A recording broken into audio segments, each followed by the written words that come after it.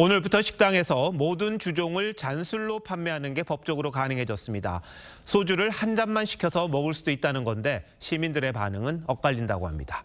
잔술 판매가 왜 허용됐는지 따져보겠습니다. 김자민 기자, 저희 취재진이 종로 식당, 식당가를 둘러봤잖아요. 그런데 손님들이나 뭐 가게 반응 좀 다르다 그러더라고요. 네, 아무래도 시행 첫날이다 보니 잔술이 메뉴에 올라와 있거나 잔술을 찾는 손님이 있진 않았습니다. 이 손님들은 대체로 잔술 판매에 찬성한다며 선택권이 확대된 걸 환영하는 분위기였는데요.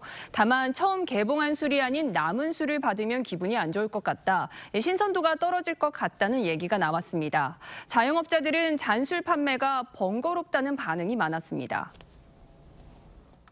소주 한두 잔씩 할 수 있으면 한 잔씩 할 수 있으면 좋을 것 같아요. 저는 주량이 많지가 않아서. 공부하는데 그거 한 잔씩 한 잔씩 어느 세월에 팔고 있어요. 네, 오늘부터 가능해졌다고 하긴 하는데 예전에도 잔술 판매를 하는 곳도 있지 않았습니까? 네, 이전 주색법 기본 통칙에는 술 판매업자가 술 종류나 규격에 변화를 일으키는 행위는 주류의 가공 또는 조작으로 본다는 규정이 있었습니다. 이 병이나 캔 형태 그대로 팔아야 된다는 거고 생맥주와 칵테일만 예외로 뒀습니다. 위스키나 양주, 막걸리, 소주 등을 잔으로 판매하는 것은 허락하지 않았습니다. 결국 이전에 소주나 막걸리를 잔으로 판 건 불법이었다는 거네요. 네, 맞습니다. 잔술 판매를 허용한 건 지난해 1월부터입니다. 국세청 기본통칙 개정을 통해 잔술 판매를 모든 술로 확대한 건데요. 다만 법령 해석의 모호성은 여전해서 이번에 주류법 시행령 개정안을 통해 법적 근거를 마련한 겁니다. 자, 그럼 소주 한 잔을 얼마로 할 거냐? 이것도 지금 논란일 것 같습니다.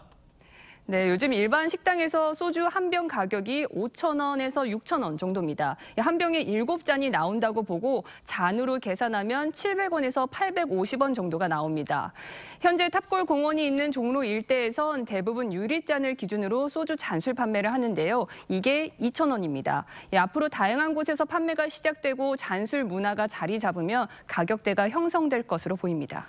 또 한 가지 논란, 위생 문제일 것 같습니다. 자, 딴술, 이걸 어떻게 관리합니까? 규정이 있는 겁니까? 네, 규정은 없지만 통상적으로 소주나 막걸리는 병을 딴 뒤 서서히 맛이 변하기 때문에 장기간 보관했다가 판매하긴 어렵습니다. 예, 다만 손님이 남기고 간 술을 잔술로 판매하는 경우는 문제가 되겠죠. 이럴 경우 식품위생법 제44조 1항 위반으로 영업정지 15일 행정처분을 받을 수 있습니다. 예, 식약처는 잔술 관리가 위생적으로 이뤄질 수 있도록 각 지자체에 공문을 보낼 예정입니다. 잔술은 판매하는 것보다 관리가 더 어렵거든요. 잔도 닦아야 되죠. 뚜껑도 열었다 닫았다 해야 되죠. 또 언제 마셨던 건지 기록도 해놔야 되죠. 배보다 배꼽이 더 커집니다. 그래서 관련된 매뉴얼을 작성해서 배포하는 것이 중요하다. 예전에는 주머니 사정이 좋지 않다 보니까 잔술을 마셨는데 요즘은 술을 좀 줄이다 보니까 주류 문화가 바뀌면서 이런 잔술 판매가 또 일어났군요. 김태민 기자 잘 들었습니다.